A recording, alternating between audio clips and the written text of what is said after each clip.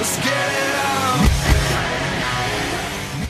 Assalamualaikum. YouTube, jumpa lagi saya Beto dalam video saya yang seterusnya. So kepada korang yang masih baru pergi dalam channel ini Sila tekan button subscribe dekat bawah dan tekan button loceng untuk notification.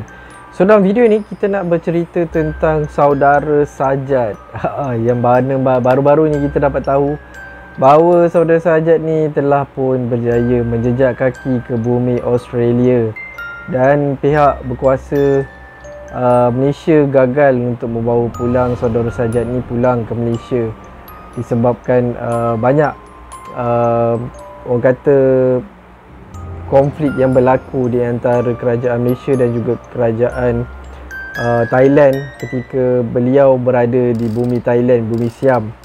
Dan yang agak mengejutkan apabila uh, benda ni dah berlaku tiba-tiba pula uh, boyfriend kepada saudara Sajat ni yang digelar sebagai Jados. Uh, itu orang yang uh, orang Lubnan tak silap um, menaikkan satu posting story di IG beliau dengan tangkap layar uh, anggota PDRM dengan aku rasa sangat kurang cantik lah, kurang sopan.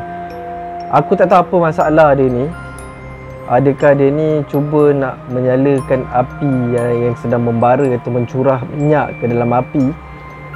Uh, dengan aku rasa dia nak menunjukkan uh, nak menganjing pihak-pihak berkuasa ke apa ke aku tak pasti apa motif dia.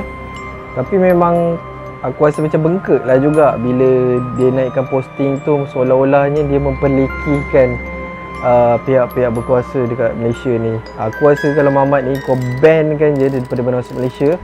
Ataupun kalau dia masuk Malaysia Pangkap kan je dia. Geram betul lah. So uh, Sebelum kita nak ular lebih lanjut Kita tengok dulu uh, story IG Daripada saudara Sajat Yang agak angkuh juga bagi aku Apabila dia dah Jejak kaki ke bumi Australia. Kita lihat dulu guys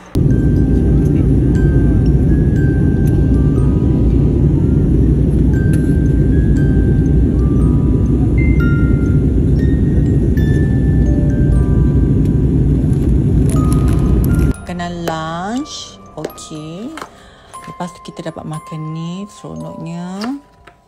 Lepas tu uh, minuman kecantikan dan juga air untuk membuatkan kita lebih bertenaga cantik dan menjaga kulit wajah kita. Bolehlah daripada tak ada makan tau.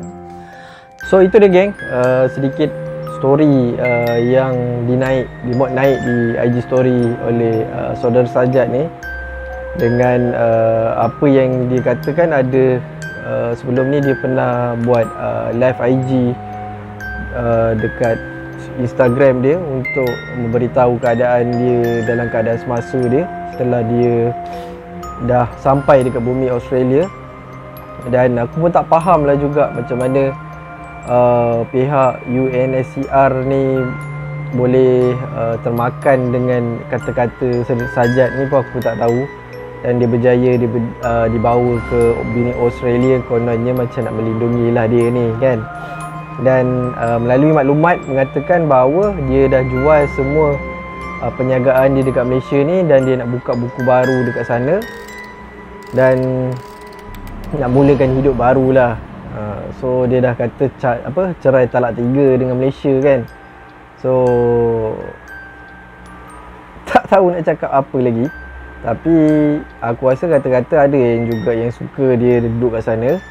Uh, teruskanlah dengan live dia kat sana. Tapi ada juga yang tak suka takut dia ni cuba nak memburuk-burukkan uh, Malaysia dekat mata dunia dengan mengatakan pihak berkuasa dekat Malaysia ni yang tak prihatin ataupun yang cuba mengancam hidup dia ke apa ke kan.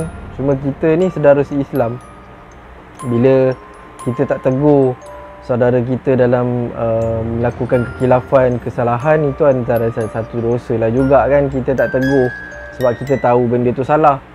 Uh, tapi itulah bila dah jadi macam ni tak tahu nak cakap macam mana. Aku rasa pihak berkuasa dekat pihak dekat Malaysia ni pun dah uh, dah cuba setukus lumus mereka dan sedaya upaya mereka untuk membawa saudara sajak ni datang ke Malaysia. Tapi gagal kita reda je lah nak cakap macam mana kan.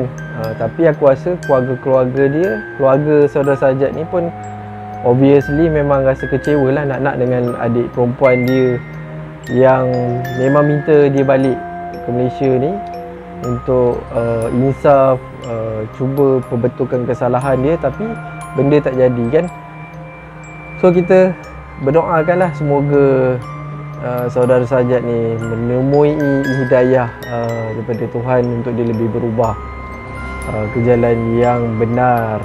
So apa pandangan korang tentang isu ni? Drop komen kat bawah. Beto akan baca satu persatu komen korang dan jika anda suka konten-konten dalam channel ini please leave like button share dengan kawan-kawan korang. Dan jangan lupa tekan button subscribe tombol warna merah tu. Percuma je guys dan gratis klik button loceng klik all untuk mendapat sebarang notifikasi daripada Beto Syukri channel dan berjumpa lagi di konten-konten video akan datang. Assalamualaikum. See you guys on the next video. Bye guys